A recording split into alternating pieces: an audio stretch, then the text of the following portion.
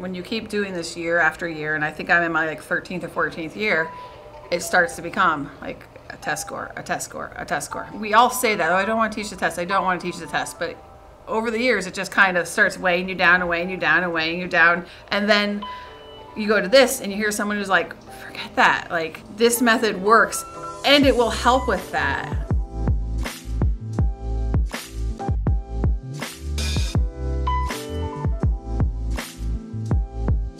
Robin Hudson, a fifth grade teacher at Ridgeview Elementary School. We're suffering a lot in this area from the opioid crisis. It's huge in this area. It's affected a lot of kids and a lot of families. So we have kids coming into school with a little more adverse, you know, childhood traumas. We have kids who will, they come here and they will try their hardest, even if things aren't wonderful at home. They come here and they try their hardest. Whenever you try anything new, you get that nervousness. That uncomfortableness of being nervous is actually like kind of reinvigorated me again. Kind of brought me back up to another level. Like when I first came out of college and was so excited and so being able to do something new and try it and see my kids, you know, doing things like we're fifth graders, but let's learn about demographics. Let's learn about Google. I've had kids who went home and do, do they do research on their own now.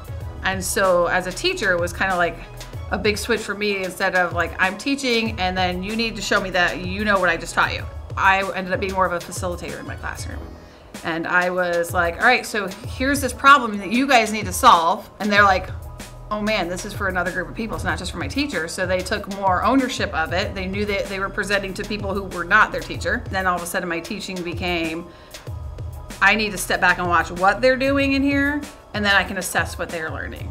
It is making them a lot better problem solvers. It's helping them dig deeper into things and to look for solutions and not just look for the first solution that comes to their mind. I was very surprised just the way it's changed the climate of my classroom. We just had conferences last night and the parents said, I love what you're doing. My kid likes coming to school this year. And I was like, oh, these are the best conferences I ever had. All my parents are like super happy with like the way things are going this year. I think having them start to care about the issues in the community will hopefully draw them back here and they won't all just want to escape when they graduate high school. Those are the people that are going to help change the community. If they keep coming back and staying here and sticking with it even when things get a little bit rough.